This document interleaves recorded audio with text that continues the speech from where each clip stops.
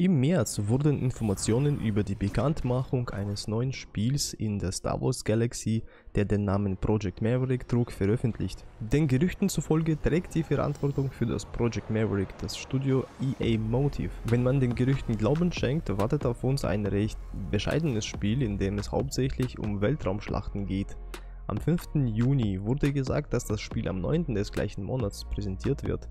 Wegen der weltweiten Situation kam es doch nicht dazu und Electronic Arts haben ein neues Datum angekündigt. Laut der Quelle ist das letzte Fenster für die Veröffentlichung des neuen Spiels am 18. Juni reserviert. Wir müssen wissen, dass EA Motive ein recht frisches Team ist und bisher nur für die Arbeit an der Einzelspielerkampagne des Star Wars Shooters Battlefront 2 und die Unterstützung von BioWare bei der Erstellung äh, des Science-Fiction-Thrillers Anthem bekannt war.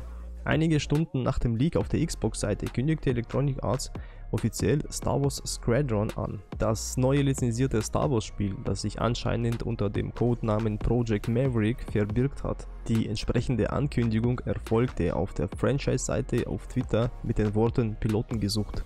Die restlichen Details zu dem Spiel werden am 15. Juni, also heute um 17 Uhr, in einem Trailer veröffentlicht. Ein Link wurde in die Beschreibung unter diesem Video hinzugefügt. Wenn du also live mit dabei sein willst, klicke auf den Link und genieße die Show.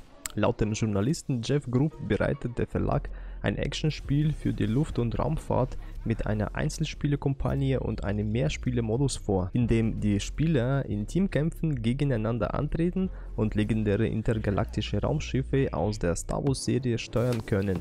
Unter anderem A-Wing, X-Wing, Waywing Starfighter, T-Fighter, vielleicht sogar die Bomber oder einen Transporter, der unter Beschuss abzuhauen versucht. Vielleicht dürfen wir sogar einen Sternenzerstörer in die Luft jagen, wie es einst der Luke und der Po taten.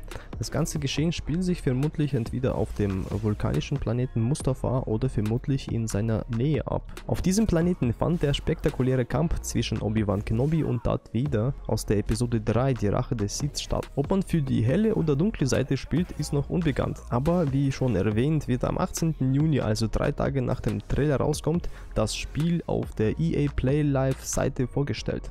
Die Seite mit dem Countdown habe ich euch auch in die Beschreibung hinzugefügt. Ähnliche Spiele gab es schon seitdem es Star Wars gibt und äh, wir sind gespannt, ob es diesmal was besonders Gutes wird. Viel Spaß beim Trailer und der Live-Übertragung am Mittwoch. Möge die Macht mit euch sein.